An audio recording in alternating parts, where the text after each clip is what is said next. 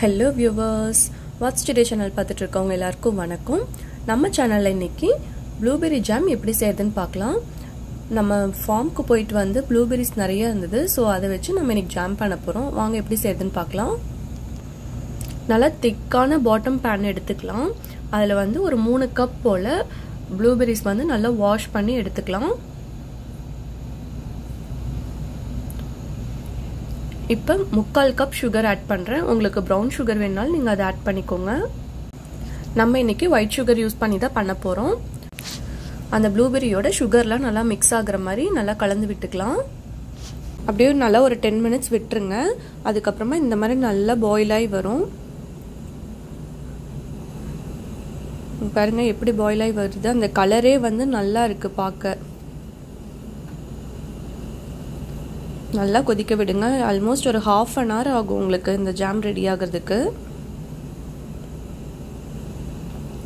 அப்பப்போ இந்த மாதிரி நல்லா மிக்ஸ் பண்ணி விட்டுக்கோங்க. சம்டைம்ஸ் அடியிலையும் பிடிக்கும். அதனால் நம்ம நல்லா கலந்து விட்டுக்கலாம். இப்போ மறுபடியும் ஒரு டென் மினிட்ஸ் கழித்து இந்த மாதிரி ஆயிடுச்சு கொஞ்சம் அப்படியே அந்த திக்னஸ் வருது பாருங்கள் இப்போ ஒரு மேஷர் வச்சு நல்லா மேஷ் பண்ணி விட்டுக்கலாம். அந்த தண்ணியெல்லாம் நல்லா சுண்டுனதுக்கப்புறமா நம்ம இந்த மாதிரி மேஷர் வச்சு நல்லா மேஷ் பண்ணிக்கணும்.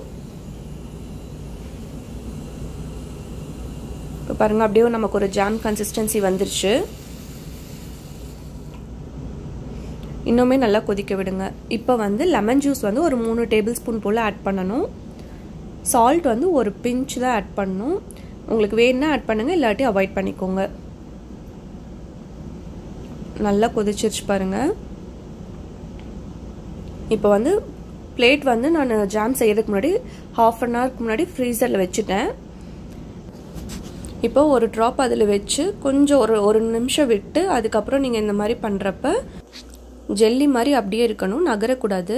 இப்போ இன்னும் கொஞ்சம் நமக்கு லிக்விடையாக இருக்குது அதனால் நம்ம இன்னும் கொஞ்சம் கொதிக்க விடலாம். மீடியம் ஃப்ளேம்லேயே வச்சு பண்ணுங்கள் இப்போ பாருங்கள் நான் மறுபடியும் வச்சு பண்ணுறேன் ஸோ கொஞ்சம் ஓரளவுக்கு நல்லா திக்காக இருக்குது இப்போ. அதில் பாருங்கள் தண்ணி நிற்கிது இதில் அந்தளவுக்கு இல்லை. ஸோ இதுதான் கரெக்டான பதம். நம்ம அடுப்பு ஆஃப் பண்ணிடலாம். ஆஃப் பண்ணி நல்லா ஆற விட்டுருங்க. ஆறினதுக்கப்புறமா நம்ம ஒரு ஜார்க்கு ட்ரான்ஸ்ஃபர் பண்ணிடலாம். இது ஜார் வந்து நல்லா க்ளீன் பண்ணி எடுத்து வச்சுக்கோங்க. தண்ணி உள்ளே இல்லாத மாதிரி நல்லா தொடச்சி எடுத்துக்கலாம். இப்போ நல்லா ஆறிடுச்சு. இப்போ வந்து நம்ம ஜார்க்கு ட்ரான்ஸ்ஃபர் பண்ணிடலாம். ஆறுனது இன்னும் கூட உங்களுக்கு கொஞ்சம் திக்காகும். ஜார் வந்து தண்ணி இல்லாமல் இருக்கணும். அதை பார்த்துக்கோங்க. நல்லா சுடு தண்ணியில் போட்டு வாஷ் பண்ணி தொடச்சி எடுத்துக்கோங்க. இப்போ எல்லாமே நம்ம ஜார்க்கு ட்ரான்ஸ்ஃபர் பண்ணியாச்சு. சைடில் இருக்கிறதெல்லாம் க்ளீன் பண்ணிட்டு நம்ம ஃப்ரிட்ஜில் வச்சுக்கலாம். இது வந்து ஹெல்த்தியான வீட்லேயே நம்ம செய்யக்கூடிய ஜாம் தான். சூப்பரான ஜாம் நமக்கு ரெடி ஆயிடுச்சு. கலர் பாருங்கள் நம்ம எந்த கலர்ஸுமே ஆட் பண்ணல. நேச்சுரலாகவே இந்த கலர் சூப்பராக இருக்குது பார்க்கவே.